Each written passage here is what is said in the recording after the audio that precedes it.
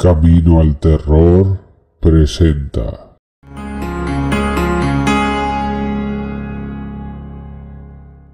Las víctimas de secuestro de Cleveland, Gina de Jesús, Michelle Knight y Amanda Berry, fueron obligadas a vivir en la casa de los horrores de Ariel Castro durante 10 años.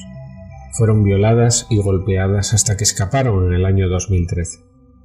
Algunas personas, como Ariel Castro de Cleveland, Ohio, han cometido actos tan malvados que es difícil pensar en ellos como algo más que monstruos. Violador, secuestrador y torturador, Castro mantuvo cautivas a tres mujeres durante aproximadamente una década antes de que pudieran liberarse. La casa en el 2207 de Seymour Avenue, donde albergaba a las tres mujeres, durante mucho tiempo tuvo un aura palpable de sufrimiento. Las persianas bajadas ocultaban el terror que habitaba en el interior. Ariel Castro, nacido en Puerto Rico en 1960, no comenzó sus horribles actividades de la noche a la mañana. Todo partió de su tormentosa relación abusiva con su entonces esposa, Grimilda Figueroa. Los dos compartieron un matrimonio lleno de malos tratos. Ella lo dejó a mediados de la década de los 90, después de que Castro la sometiera a ella y a sus cuatro hijos a amenazas de muerte y abuso físico, rompiéndole la nariz y dislocándole el hombro dos veces. Una vez la golpeó con tanta fuerza que se formó un coágulo de sangre en su cerebro. En el 2004, mientras trabajaba como conductor de autobús para el Distrito Escolar Metropolitano de Cleveland, Castro dejó a un niño solo en un autobús. Fue despedido en 2012 después de volver a hacer lo mismo. A pesar de su volatilidad, su hija Angie Gregg pensaba en él como un hombre amable y cariñoso que la llevaba a pasear en motocicleta y alineaba a sus hijos en el patio trasero para que se cortaran el pelo. Pero todo eso cambió cuando descubrió su secreto. Me pregunto todo este tiempo cómo podría ser tan bueno con nosotros, pero se llevó a las mujeres jóvenes, las niñas, los bebés de otras personas, lejos de estas familias, y con el paso de los años nunca sintió la culpa suficiente para rendirse y dejarlos libres. Ariel Castro afirmó que sus crímenes surgieron simplemente de la oportunidad. Vio a estas chicas y una tormenta perfecta le permitió arrebatarlas para convertirlas en su propiedad. Cuando recogí a la primera víctima, dijo en la corte, ni siquiera lo planeé ese día. Fue algo que surgió. Atraía a cada víctima con tácticas cliché, ofreciéndoles un cachorro, un paseo o pidiéndoles ayuda para encontrar a un niño perdido. También aprovechó el hecho de que cada víctima conocía a Castro y a uno de sus hijos. Michelle Knight fue la primera víctima de Castro. El 23 de agosto del año 2002, camino a una cita con los servicios sociales para tratar sobre la recuperación de la custodia de su bebé, Knight no pudo encontrar el edificio que estaba buscando. Pidió ayuda a varios transeúntes, pero nadie pudo señalarle la dirección correcta. Fue entonces cuando vio a Castro. Él se ofreció a llevarla y ella lo reconoció como el padre de alguien que conocía, por lo que confió en Ariel. Pero éste condujo en la dirección equivocada, alegando que tenía que llevar un cachorro a su casa para su hijo. La puerta del pasajero de su automóvil no tenía manija. Ella entró en la casa y caminó hacia donde él dijo que estaban los cachorros. Tan pronto como ella llegó a una habitación en el segundo piso, Castro cerró la puerta detrás de ella y Knight no dejaría Seymour Avenue durante 11 años. Amanda Berry fue la siguiente. Al dejar su turno en el Burger King en 2003, estaba buscando a alguien que la acercara hasta su casa cuando vio la camioneta de aspecto familiar de Castro. Como Knight, ella caería en sus redes y permanecería en su cautiverio hasta 2013. La última víctima fue Gina de Jesús, de 14 años, amiga de la hija de Castro, Arlene. Los planes de ella y Arlene de pasar el rato fracasaron y no lograron encontrarse. De Jesús se topó con el padre de su amiga, quien dijo que podía ayudarla a encontrar a Arlene. De Jesús estuvo de acuerdo y fue con Castro de regreso a su casa. Irónicamente, el hijo de Castro, Anthony, un periodista estudiantil, escribió un artículo sobre la amiga de la familia a raíz de su desaparición. Incluso entrevistó a la afligida madre de De Jesús, Nancy Ruiz, quien dijo la gente está cuidando a los hijos de los demás. Es una pena que una tragedia haya tenido que pasar para que yo realmente conozca a mis vecinos. Bendice sus corazones, han sido geniales. Antes de ser demolida la casa, el 2207 de la avenida Seymour, era una casa de los horrores para las víctimas de Castro. Las mantuvo retenidas en el sótano antes de dejarlas habitar en la planta de arriba. Vivían detrás de puertas cerradas, con agujeros para introducir y sacar la comida. Usaban unos simples cubos de plástico como inodoros que Castro rara vez vaciaba. Para empeorar las cosas, a Castro le gustaba practicar juegos mentales con sus víctimas. A veces dejaba la puerta abierta para tentarlas con la libertad. Cuando trataban de escapar, inevitablemente las atrapaba y las castigaba con fuertes palizas. Mientras tanto, en lugar de cumpleaños, Castro obligó a las mujeres a celebrar el día de su secuestro, conmemorando los aniversarios de su encarcelamiento forzoso.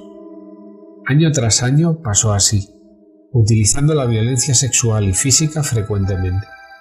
Las mujeres encerradas en la avenida Seymour veían pasar el mundo día tras día a través de un pequeño televisor granulado en blanco y negro que se había convertido en su única conexión con lo que sucedía en el exterior.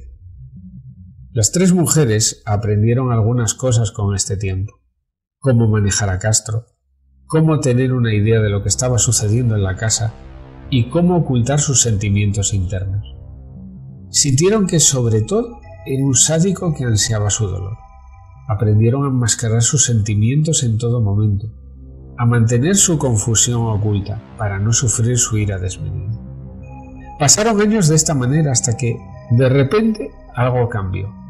Amanda Berry se dio cuenta de que tras años de violaciones horrendas se había quedado embarazada. Ariel Castro de ninguna manera quería un hijo que rompiera su estatus en la casa. Sin embargo, hizo que Berry continuara con el embarazo y cuando ella se puso de parto, la obligó a dar a luz en una piscina infantil de su propiedad. Otra de las muchachas, Michelle Knight, que tenía un hijo propio, ayudó en el parto. Una vez que llegó el bebé en perfecto estado, lloraron de alivio. Las mujeres vivían como en una casa de muñecas, juntas pero separadas, y siempre a la mano del hombre que controlaba todo, que entraba y salía a su antojo. Michelle Knight, como la más rebelde del grupo, a menudo estaba en problemas con Castro. La castigaba reteniéndole la comida, sujetándola a una viga de soporte en el sótano y la humillaba con frecuentes palizas y violaciones. Según sus cálculos, estuvo embarazada al menos cinco veces, pero ninguno llegó a término. Castro no lo permitía, golpeándola tanto y tan fuerte que sufrió daños permanentes en el estómago. Mientras tanto, Amanda Berry se mantuvo en una pequeña habitación cerrada desde el exterior con su hija, una pequeña llamada Jocelyn. Berry hacía todo lo posible para mantener cualquier sentido de normalidad. Incluso fingiría caminar hacia la escuela mientras todavía estaban atrapadas en la casa. Llegó a escribir un diario de su vida en la casa y registró cada vez que Castro la agredía.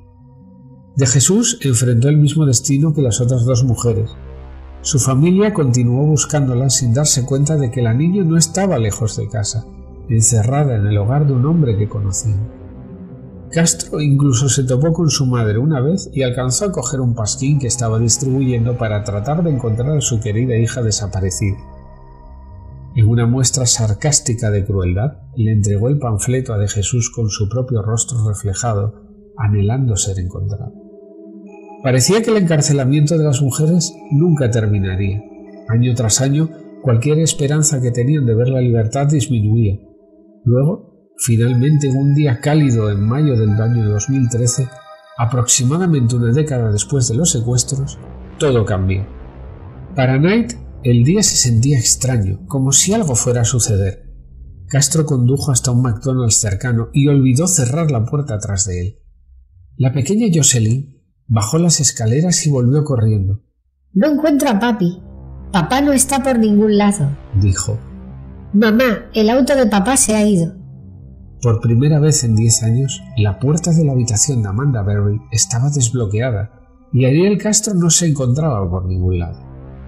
¿Debería arriesgarme? pensó Berry. Si voy a hacerlo, tengo que hacerlo ahora. Fue a la puerta principal, que estaba abierta pero conectada con una alarma. Pudo sacar el brazo por la puerta y quitar el candado. Salió y comenzó a gritar. Alguien, por favor, por favor, ayúdenme. Soy Amanda Berry, por favor.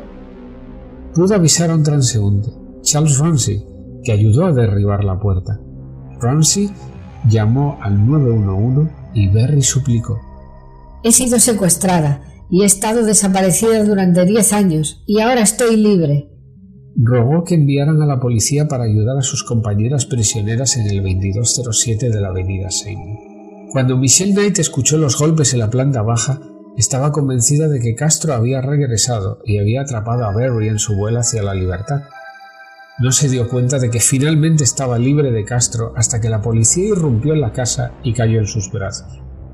Knight y de Jesús siguieron a los oficiales fuera de la casa, parpadeando bajo el sol de Ohio, libres por primera vez en una década. Como Knight más tarde recordó, la primera vez que pude sentarme afuera, sentir el sol, hacía tanto calor, era tan brillante, era como si Dios me estuviera iluminando. El mismo día en que las mujeres obtuvieron su libertad, Castro perdió la suya, arrestado por asesinato agravado, violación y secuestro. Él testificó en su propio nombre durante su juicio, se mostró desafiante y arrepentido a partes iguales. Castro se describió a sí mismo y a las tres mujeres como víctimas por igual de su terrible adicción sexual. Afirmó que sus crímenes no eran tan malos como parecían y que sus víctimas vivían con cierto consuelo con él, con un consentimiento por ambas partes. Probablemente todo el sexo que tuvo lugar en esa casa fue consensuado, argumentó el secuestrador delirante durante el transcurso del juicio. Estas acusaciones sobre el ser enérgico con ellas son totalmente incorrectas, porque hubo momentos en que incluso me pidieron sexo, muchas veces, y aprendí que estas chicas no eran vírgenes. Por su testimonio, para mí, habían tenido varias relaciones antes que yo las tres. Michelle Knight testificó contra Castro usando su nombre por primera vez. Anteriormente nunca se refería a él por su nombre para evitar que él tuviera poder sobre ella, llamándolo solo él o el tipo. Me quitaste once años de mi vida, declaró. Castro suplicó al juez Michael Russo durante su sentencia el 1 de agosto de 2013 en Cleveland, Ohio, pero fue sentenciado sin la posibilidad de libertad condicional a más de mil años de prisión por secuestrar a tres mujeres entre 2002 y 2004. No soy un monstruo, estoy enfermo, le dijo al juez. Soy una persona feliz por dentro. Duró poco más de un mes tras las rejas, en condiciones mucho mejores a las que sometió a sus víctimas. Se suicidó el 3 de septiembre de 2013, ahorcándose con las sábanas en la celda de su prisión. Después del juicio, las tres víctimas comenzaron a reconstruir sus vidas. Michelle Knight escribió un libro sobre la terrible experiencia vivida con el título Finding Me, A Decade of Darkness, Encontrándome, una década de oscuridad, antes de cambiar su nombre a Lily Rose Lee. Se casó el 6 de mayo de 2015, el segundo aniversario de su rescate. Ella espera reunirse con su hijo, quien fue adoptado en su ausencia, cuando éste llega a la mayoría de edad. A veces todavía recuerda su terrible experiencia. En una entrevista dijo, Sí, tengo recuerdos. Ciertos olores, lámparas con tiradores de cadena. No soporto el olor de la colonia All Spice y Tommy Hilfiger, con las que Castro se perfumaba. Mientras tanto, Amanda Berry espera encontrar el amor y el matrimonio. Ella vive con su hija, Jocelyn, y se ha acostumbrado a tomar sus propias decisiones en la vida. También trabajó en un segmento de televisión sobre personas desaparecidas en el noreste de Ohio. Gina de Jesús, la última de las víctimas de Castro, escribió unas memorias con Berry sobre su experiencia juntas tituladas Hope, a Memoir of Survival in Cleveland, Esperanza, una memoria de supervivencia en Cleveland. También se unió al Comité de Alerta Ámbar del noreste de Ohio, que ayuda a encontrar personas desaparecidas y apoya a sus familias. De Jesús y Berry no están en contacto con Knight.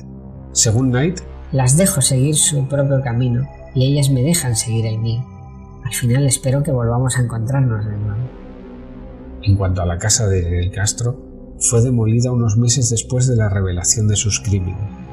La tía de De Jesús se hizo cargo de los controles de la excavadora cuando una garra de demolición dio el primer golpe en la fachada de la casa. Si te gustó la historia, dale like y suscríbete al canal de los Caminantes del Terror.